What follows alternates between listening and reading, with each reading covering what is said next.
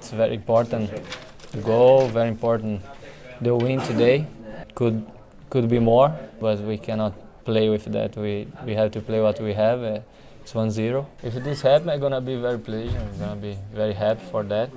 Uh, doesn't matter who score, and uh, I think we have to evaluate everyone that's running, uh, defending, creating situations. Uh, I think our team is is doing uh, the biggest effort they can to to reach the final. Uh, about that play, I I don't know. I got hit uh, in my muscle, very close to the bone, and and uh, was hard when I step in my left leg. Uh, I feel the muscle pulling, so uh, I I had to step out. Maybe we're gonna do an X-ray or MRI tomorrow. I I don't think it's it's something that will keep me out from from next game.